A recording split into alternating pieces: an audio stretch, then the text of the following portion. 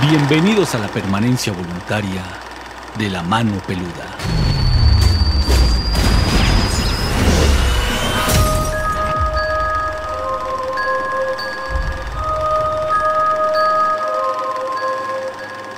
¿Cómo está, don José Luis? Buenas noches. ¿Qué tal? Muy buenas noches, Juan Ramón. Bienvenido, gracias por estar con nosotros. Muchas gracias, lo oímos mucho nosotros toda la noche. Ah, muy amable, muchas gracias. Eh, mire, yo trabajo en la policía. Ok. En la poli- eh, entonces, este, una, pues sí, nos mandaron comisionados un día a cuidar una residencia totalmente este, abandonada. Solamente nos dieron el nombre de la única persona que podía entrar.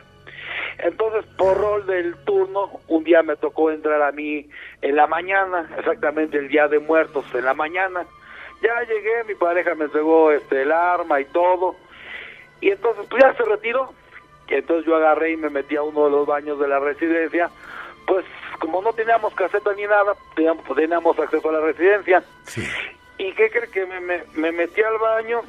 Dejé mi pistola en la caja del, del baño. Y entonces Juan Ramón todavía ni siquiera me sentaba en la taza cuando oí unos pasos.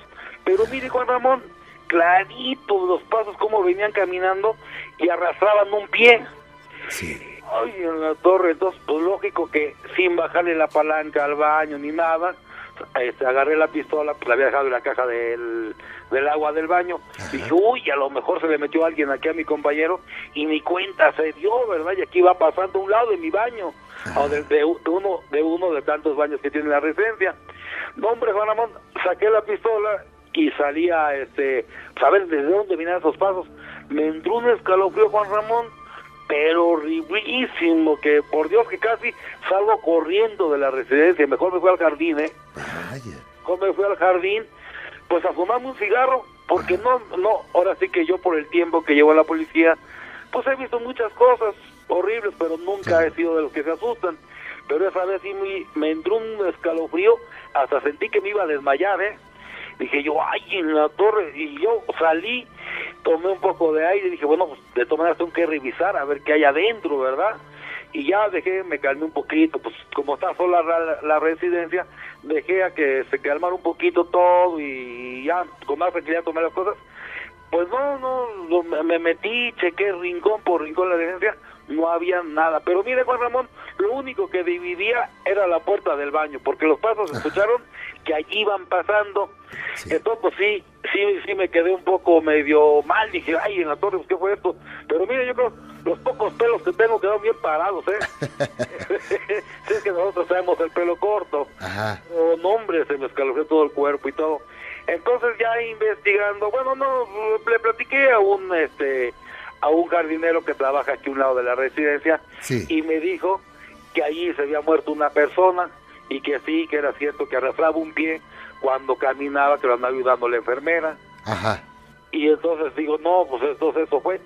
Pero ya más adelante yo no le conté nada a mi esposa ni nada. Dije, no, pues no me va a creer, así que estoy loco, ¿verdad? Sí. Y, un, y un domingo, que está todo solo por aquí, digo a mi esposa, tráeme un taco, vieja, y este, tráete a mi hijo, le digo, porque no lo en la casa. va. Y ya se trajo a mi hijo uno de tres, tenía como cuatro añitos.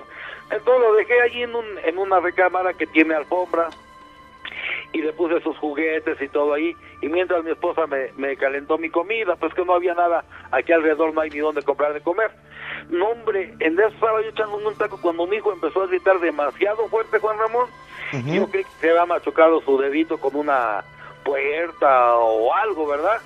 No, hombre, que voy a ver, no, hombre, estaba paradito y apuntaba para la esquina de una chimenea vieja que había allí. Lo abracé y mire, su corazoncito le palpitaba, pero demasiado fuerte. No lo abracé, duró como tres días que no podía dormir bien el niño, como que quedó asustado, yo creo. Ya jamás voy a llevar a mi hijo allá a mi trabajo. Y ya después, ya pasó el tiempo y, y seguí con el jardinero y me dijo que sí, que, había, que ahí se había muerto una persona que sí, que sí caminaba así, que arrastraba un pie. ¿Usted cree, Juan Ramón? Vaya. Oiga, pero eh, usted pasó todo esto, le dio temor a diferencia de otras ocasiones. Y ya cuando pasó todo, cuando le dijeron esto, ¿qué pasó por su mente? No, pues, este, pues, Eh, pero, no, hombre, pero aparte de eso, cuando esta casa empezó ya este, a, a repararla, varios albañiles salieron también corriendo, ¿eh? Ah, ok. Un albañil que le, le- le- le dijo el contratista que empezara por levantar el piso del sótano, ese salió corriendo y de plano ya no regresó, que porque le azotaron todas las puertas abajo de la residencia, todas, las- todas las puertas que dan en el sótano, que los han dijo, no gusta, y digo, oye, no, aquí está tu maestro, y tú te metiste y nosotros continuamos platicando aquí en el jardín. Pero el albañil salió, pero bien pálido, creyendo él que yo era el que había bajado a azotarle las puertas. Y no, nosotros estábamos platicando en el jardín, yo y el contratista, pero el albañil ya no quiso entrar, mejor se fue. Sí, como ve. Y, y, y ya cuando entró la obra, cuando entró la obra de plano ya en, en grande, yo continué comisionado aquí, pero sí hubo varios varias muchachas de limpieza de la obra, Ajá. eh, se iban y ya no regresaban, solamente me explicaban que porque las asustaban, las asustaban ahí en el sótano. Entonces, o sea, y a mí me, pues me cambiaron, me cambiaron de esa residencia y ahorita pues ya está construida, ya creo ya está habitada. Pero sí, ahí sí sentí, la verdad yo he visto muchas cosas, por el tiempo que llevo en la policía, llevo 25 años, Claro. he, pasado, he pasado muchas cosas, pero esa vez Juan Ramón, no, esa vez otro poquito y caigo, ¿eh? Mi corazón hasta me empezó, pues sentí que me, me iba yo a desmayar, ¿eh? No, es que sentí bien horrible como si se me escalofrió todo el cuerpo, Juan Ramón, y sí está, está crítico eso, ¿eh? No, sí, y- y- no. y nosotros como policías este hemos visto tantas cosas un día un compañero le echaron un recorrido en una bodega de X tienda que ya desapareció se apagó la pero un bodegón grandísimo que estaba lleno de ahí cargaban los, los camiones foráneos y trailers todo eso Sí. pero teníamos que echar un recorrido hasta el fondo de la bodega grandísima, pero muy grande que estaba esa bodega, porque ya habían roto un día una pared y ahí se habían robado la mercancía. Entonces, ¿qué cree Juan Ramón? Que le tocó echar el recorrido de ese compañero, se apagó toda la luz de ese bodegón y, oiga, ya no volvió a decir el compañero. Se llevaron al servicio médico, pero ya no, ya no reaccionaba bien, Juan Ramón. No sé si haya sido por el susto, yo creo, ¿verdad? Porque se, se fue la, se fue la, pues se fue la luz solamente en esa área de la bodega. Y él, yo creo iba a media bodega. Pero sí, ahí también varios compañeros me han dicho que ahí se apareció una persona, pero era un bodegón grandísimo, pues eran 10 andenes para cargar trailers, camiones, por todo eso, entonces el bodega, la bodega estaba grandísima, era de puro abarrotes. Entonces nos tocaba entrar hasta el fondo, echar recorrido hasta el fondo, porque habían roto la pared y se habían ah, robado una buena cantidad de mercancía. Entonces ya parcharon eso que hicieron y ahora tenemos que entrar adentro. Mínimo cada 40 minutos tenemos que echar recorrido hasta el fondo. Entonces un compañero que pasó como eso de la una y media, dos de la mañana, pues se apagó la luz sola de la bodega y el compañero este ya cuando salió salió pero ya no ahora sí con perdón de la palabra ya no carburaba Ajá. Y se lo llevaron al servicio médico quién sabe cómo quedaría ese compañero a mí sabe que ya no quedó bien Juan Ramón Es que eh, una impresión de esas sí puede traer consecuencias, ¿eh? y luego sabe qué Juan Ramón que era de Ajá. esos compañeros eh, no es por nada pero era su primer servicio Uy, eran nuevos en, es- en, en eso, ¿verdad? A mí sí ya me habían dicho eso, pero pues no a mí no, la verdad yo nunca vi nada. Pero sí me Mm. habían dicho que adentro de ese, pero un bodegón grande se aparecía una persona. Entonces a este compañero este eh, se fue la luz, no sé por qué, se fue la luz de toda la bodega y este cuate salió como tambaleándose, pero ya no volvió muy, ya no reaccionó bien. Entonces fue una ambulancia de nosotros, se le van al servicio médico. Ya no volvió a saber ese compañero, Juan Ramón. Ya no lo volvió a ver. ¿Quién Yo sabe creo cómo que- quedaría? ya no quiso ni regresar, yo creo, ¿eh? No, pues era, estaba como, y era como de esos nuevecitos. Ha dicho, no, ahí nos vemos de aquí. sí, ¿no, Juan Ramón? Sí, por supuesto. Sí, Y- sí, sí, a mí que llevo tanto tiempo, lo que me pasó en esa residencia, ya se me estaban doblando las corvas, ¿eh? así de horribles, de ay, ay, y no, mejor me salí, ay, me salí al jardín, estuve unas tres horas, me eché un cigarrito y dije, calma, calma, calma, tengo que entrar a checar de todas maneras, pero pues eso, y luego el susto que le dieron a mi hijito, no, pues dije, no, esto no, no, no está bien, ya no volví a entrar yo a esa- residencia, hasta que me cambiaron de allí, mejor me quedaba dentro de mi carro y adentro de la residencia, pero ya la residencia ya no entraba, ¿eh? No, no Ah. estaba crítico. ¿eh? Es que desde que entraba uno ahí, se sentía mal el, el, el, ambiente que flotaba ahí en esa residencia. La vibra. Sí, se sentía mal, se sentía mal. ¿Quién sabe qué pasaría, eh? Pues lo único que me mencionó un jardinero que es, lleva años aquí a un lado de la casa, pues fue el único dijo que se, ahí se murió nada más una persona, Mm. pero pues sí se ve, sí se ve, sí se sentía mala vibra allí, ¿eh? Digo, yo pedí mi cambio y ya no volví a saber más de eso. Me dieron mi cambio. Así es, pues, ¿cómo ve Juan Ramón? No, fíjese que hace antier platicaba acerca de, de, de ustedes, los, los policías y de los amigos militares. Hay veces que el público pues cree que los militares o los amigos policías no tienen derecho a tener miedo, pues también son seres humanos, ¿no? No, Juan Ramón, si yo ya, ahora sí que salí con, con el arma en la mano, Ajá. ya no encontraba, no, no encontraba, o sea, el carcaz donde lo tengo uno en la cintura, Ajá. entonces ya no lo encontraba porque, no, es que sentía que, que me quería desmayar, ¿eh? Y le digo, vaya, yo he visto cosas fuertísimas con mi, con mi, o sí que con mi antigüedad en la policía, he Ajá. visto toques, he andado en asaltos y todo eso, no me impresiono, pero Ajá. no sé por qué eso sí me impresionó tanto, que si otro poco, otro poco y caigo hasta, se me doblaron las corvas, Sí, cómo no. y es que es algo. Es que eso sí, no, eso sí se siente bien horrible, ¿eh? Sí se siente bien feo cuando no es algo normal. Claro. Don José Luis, cuídese mucho. Juan Ramón, y muchas gracias por haber atendido mi llamada. No, al contrario, los mejores deseos, señor. Hasta luego. Que esté bien, buenas noches. ¿Cómo está usted, Rebeca? Buenas noches. Sí, buenas noches, Juan Ramón, ¿cómo está? Bien, con el gusto de saludarle. Gracias, igualmente. A sus órdenes. Oiga, este, yo tengo un relato, bueno, que todavía no acaba esto, Odisea, ¿no? Nos metimos en un problema, unos amigos y yo, Ajá. porque estábamos en una situación económica muy precaria. Sí. Entonces decidimos hacer un pacto para obtener, este, obviamente dinero, ¿no? Entonces hicimos varias cosas, este, preparamos todas nuestras cosas con muchos días de anticipación, este, todo lo que se nos indicaba, o sea, un cirio bendito de una iglesia, barras de, este, varitas de nogal cortadas al amanecer. Esto lo sacaron de un libro, ¿verdad? Ajá, es de un libro, sí. Entonces hicimos absolutamente todo. Entonces, este, el pacto fue hecho aquí en mi casa. Inclusive Ujú. pusimos la estrella de cinco picos y en medio de la estrella estuvo todo. Entonces hicimos la invocación. También estaba ahí un decreto que eran las palabras sagradas para de la clavícula de Salomón para torturar a los espíritus rebeldes. Entonces, este, fueron, fue todo tal cual como se pedía, ¿no? Entonces, en ese momento, este, hicimos la invocación y todo y no pasaba absolutamente nada. Lo que alcanzamos a distinguir en la sala de la casa, porque decía que se hiciera esto en un lugar deshabitado y, pero como no, la verdad a todos nos daba mucho miedo, entonces lo hicimos aquí en la casa. Entonces, lo que alcanzamos a distinguir en la sala de la casa, pues era como especie de sombras, pero no, no era una nada físico en realidad pero de allí empezaron todos los problemas o sea pero una serie de problemas que se desencadenaron terribles porque este ¿De qué tipo? de muchos tipos, o sea, por ejemplo, yo tengo un reloj que habla de los que te dicen, este, son las 7 en punto, ta, ta, ta, y entonces en las, eh, a las 3 de la, de la madrugada en punto empezaba a decir, una noche hasta me dejó paralizada porque las frases tal cual como dijeron fue, este, ya estamos aquí, el hangar está lleno y estamos listos pero era una voz de hombre, entonces yo dije, ¿qué es esto, no? Y entonces este varias noches se repitió hasta que agarré yo ya le quité las pilas y lo aventé, ¿no? Por ahí- lo fui a guardar al cuarto de servicio.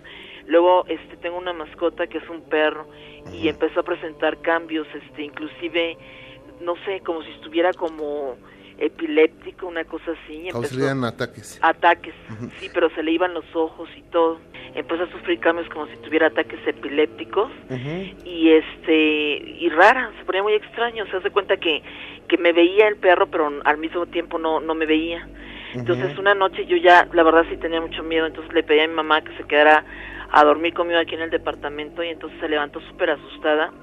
Y este y entonces ella dice que oyó que yo en la noche o sea que se veía como un gruñido que salía de mi pecho. Entonces decía Lorey, Lorey, pero pero que pero era un así muy muy estre- este estridente, ¿no? Entonces no sabía qué hacer ella, entonces este pues agarró y se quedó sentada en la sala y le dio así pero terror, ¿no? O sea, muchas muchas cosas empezaron a pasar. Las lámparas empezaron a mover solas, o sea, giraban, son esas lámparas que cuelgan y oscilaban. Entonces un día en el programa de nuestra casa yo vi que salía la psíquica esta celeste, ¿no? Y entonces la llamamos para que este, pues para que viniera a ver qué había. Pues no, se retiró porque de plano no no pudo hacer nada. Y los camarógrafos y todos que venían con ella, este, salieron arañados y no, pero yo no veía nada, sino la muchacha que estaba ahí estaba diciendo que la habían arañado y que la habían lastimado, que había pasado una sombra. Y este entonces yo primero los llamé pero luego empecé a sentir molestia de que estuvieran en mi casa porque Celeste se puso a rezar unos salmos que a mí la verdad me, me molestaron muchísimo. O sea todo iba bien hasta que entonces cuando ella empezó a rezar entonces ya este yo ya no no recuerdo pero ella dice que cambié la actitud y los corría a todos de mi casa entonces, este, yo desde esa, desde ese momento ya no soporto que nadie rece, que nadie, o sea, nada, ninguna imagen católica, ninguna cruz, ninguna nada, o sea, pero una, o sea, yo llevo una vida normal, pero simplemente no tolero nada que tenga que ver con este, con cosas católicas, ¿no? Sí, no, ni, ni un padre, ni una iglesia, ni nada. Pero puedo, puedo convivir perfectamente bien con la gente, pero sí yo misma siento que este, pues se quedó, que cambió, como si hubiera cambiado, como si yo viera desde dentro de mí otra persona que estuviera viendo, pues. Como si yo viera, pero, pero al mismo tiempo no estuviera viendo yo, sino que hubiera alguien más dentro de mí. Es lo que yo siento. Pero no lo puedo evitar por más que trato. Y este, pues ya nos acostumbramos a lo que pasa aquí en la casa, ¿no? Este, este eh, perdón, este, este pacto lo hicieron o este ritual lo hicieron varios amigos y usted. Así es. ¿A ellos qué les ha pasado? No, a ellos no nada. Bueno, tienen pesadillas y cosas así, pero la cosa es que yo creo que fue porque se hizo aquí en esta casa. Ajá. Entonces, este, no ellos, no nada. Ahora, ¿sabe por qué yo me animé a hablarle? Porque se acuerda que usted en el caso de la otra noche dijo que, que, cuando había seres de planos este, inferiores se manifestaban a veces y tomaban la forma de la persona. O sea, me acuerdo de una señora que decía que, que tomaba la forma de la misma señora, ¿no? En ocasiones sí. Sí, entonces este, una vez estaba yo en la cocina y entonces mamá me dijo, fue a la cocina y me dijo, oye, te acabo de ver salir de la cocina. Le dije, no, yo no he salido de aquí. Y varias gente de aquí me ha dicho, oye, este, estabas ahí en la calle, te acabo de ver y yo sigo aquí en mi casa. Pero dicen que sé que es, o sea, que es mi forma, o sea, que es como yo. Pero este, yo obviamente yo no me he visto, ¿no? Así como esa señora que dice que se vio. No, yo yo no yo no he llegado a tanto, pero otra gente sí me ve. Entonces yo ya me acostumbré como a convivir con ellos, o sea, ni me lastiman ni yo los lastimo, ¿no? Pero como que no se quieren ir de aquí. O sea, cuando sienten, por ejemplo, que, que voy a este, hacer alguna cosa o que quiero ir a la iglesia o que le digo, mamá, voy a traer un padre para que bendiga la casa o algo, siempre pasa algo, ¿eh? O sea, pasa algo o yo me enfermo, pero me enfermo de enfermarme, o sea, no de poquito. Ah, o sea, caigo muy, muy enferma, con, con mucha fiebre, con este, o sea, cosas de la nada, o sea, me enfermo de la nada, de no tener nada, o sea, sí han como minado mi salud ha decaído muchísimo mi salud muchísimo y este pues muchas energías o sea toda la gente que entra aquí a la casa dice que se siente una energía muy fuerte.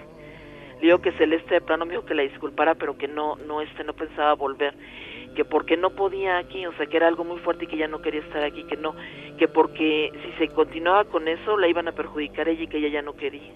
Y es que es que no es fácil o sea muchas veces se dice en televisión no yo voy y eso dijo no, no, no, no es fácil. No, le dio miedo. O sea, no pudo, mi hijo de plano, ¿sabes qué? Es que no puedo. O sea, presentó el caso y todo y dijo, ¿sabes qué? Este, yo me retiro porque no te puedo ayudar. Me dice, aquí hay una lucha entre ángeles y demonios, pero desgraciadamente los demonios están muy fuertes. Y entonces me dijo, me llamó aquí a, a, mi pieza y me dijo, mira, ve para el techo de arriba de tu pieza, el techo de mi pieza. Y efectivamente en el techo hay como una trinidad, o sea, tres como tres figuras muy definidas, o sea, en el tirol de arriba, como de un demonio mayor, inclusive hay un, un pequeño arriba de la cabeza del otro. Pero ella me los enseñó. Yo no lo había visto, ya le fue encontrando la forma. Pero lo que sí es evidente es que aquí pasan cosas muy, muy, muy, muy extrañas, ¿no? Desde esa vez, este, obviamente, pues nosotros tenemos la culpa por lo que hicimos, ¿no? Y bueno, eh, ¿esto cuánto tiempo tiene, me dice? Pues tiene dos años, pero no se pueden erradicar, no se, no, no queda en calma la casa. Ok, eh, ustedes hicieron ese, ese pacto y qué resultó de... Bueno, ustedes dijeron, queremos dinero y a cambio te vamos a dar qué, ¿qué dijeron? ah, era a 20 años, de acuerdo a los libros era a 20 años darle tu alma. Pero tenías 20 años de riqueza. Ajá. Pero obviamente no hemos tenido riqueza, ¿no? Lo que sí siempre me protegen en todo sentido. O sea, si algo me va a pasar, por ejemplo, o sea, que yo vaya a cruzar, por ejemplo, otra vez en Palacio de Hierro que estaban asaltando unas personas y pasaron enfrente de nosotros porque estaban asaltando a esas personas, a mí me hace cuenta que no me ven. O sea, nunca me pasa nada. Si me caigo, por ejemplo, otra vez me caí de la combi porque el señor arrancó antes de que yo pudiera subir bien, caí a la banqueta y me levanto y este, y sí tengo golpes y todo. Una señora me dijo, es que yo creí que te habías matado y no, jamás me pasa nada. O sea, sí me cuidan, sí me protegen. Siento yo, a lo mejor estoy equivocada. Bien. Eh, ni a los amigos de tus amigos les llegó el dinero. No, tampoco. Bueno. No, o sea, no, no carecemos de nada. Yo, por ejemplo, si digo, bueno, quiero conseguir, haz de cuenta, comprar un iPod. O sea, sí lo puedo comprar, pero como cualquier persona normal. O sea, mensualidades, ta, ta, ta, pero jamás se me niega la oportunidad. O sea, todo lo que yo pido lo puedo obtener. Claro, obviamente que no, no aparece así como si cayera del cielo, ¿no? No. Pero se me abren los, los caminos, perdón, para que yo pueda obtener lo que yo quiero siempre que yo quiero. Entonces, sí eh, se concluyó el pacto, o sea... Pues no, porque hablaba de una riqueza y esto no es ninguna riqueza.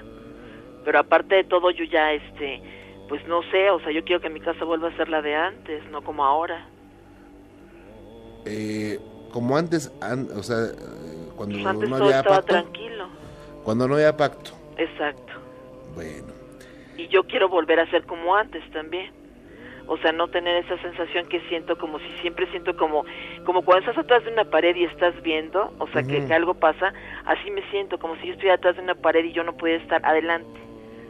O sea, ni cuando sales a la calle ni nada ves a la gente caminar y moverse y la ves como si fuera otro plano. Sí, O sea, me cuesta eso me cuesta mucho trabajo, pero yo no estoy acostumbrada a eso. muy bien. Eh, mire, Rebeca, eh, como hemos platicado aquí en varias ocasiones, eh, el poder de la voluntad es, es grande, ¿no? O sea, si, si el, algún don tenemos los seres humanos es el libre albedrío, Sí. el hacer nuestra voluntad. Y si ustedes por voluntad pidieron esto, Sí, bueno, obviamente hay consecuencias claro. y las están viviendo, pero también hay, hay formas de, de poder erradicar esto, usando esa palabra mágica, voluntad, la misma voluntad, eh, acabar con todo, pero eh, hay que cumplir con ciertos requisitos. Ajá. Eh, el hecho de que del alma, del alma surja el, el querer revertir todo esto. Es que a mí me da como miedo revertirlo. Porque, porque no sé si en realidad entonces se puedan enfadar. Porque Celeste dijo que, que eran dos, ella les llama protectores, como usted dijo ayer. Por eso yo me decía llamar porque he estado oyendo varias palabras clave. Dijo que eran dos protectores, pero que si yo los delataba a ellos, ellos eran capaces hasta de acabar conmigo. Lo dijo Celeste, y quiera que no, si, si tiene algunas cosas de verdad Celeste. ¿eh? O sea, yo varias, varias cosas de las que dijo salieron ciertas. Ajá. Ok, entonces, eh, ¿qué piensa hacer? Pues no sé. O sea, no sé porque no me gusta vivir así, ob- obviamente, ¿no? Pero a la vez me da miedo. Es que, bueno, yo no, yo no comparto, eh, Rebeca, digo con todo respeto, eh, no comparto el hecho de que vaya alguien y le diga, no, ¿sabes qué? Si te rajas, eh, se van a enojar y te pueden hacer algo. O sea, no, no, o sea, Y entonces, ¿por qué a ella le dio miedo? ¿cómo? Bueno, es que, es que eh, cuando alguien no, no, no está listo para algo, pues obviamente le da miedo. Claro. Eh, entonces, o sea, es como si va al médico y le dice, ¿sabes qué? Pues si vuelves a comer chicharrón te vas a morir, ¿eh? Así es que mejor yo no comería. O sea, no es bueno espantarlos más. Si, si por sí están espantados, ¿para qué los Sí. espanto más, no? Sí, pues sí estamos espantados. Rebeca, cuídate mucho. Bueno, gracias con Ramón y que pasen buena noche. Buenas noches. Gracias.